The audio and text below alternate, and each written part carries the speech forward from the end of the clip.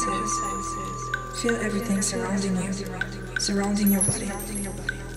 Let the presence of the light enter your deepest thoughts. And don't forget to.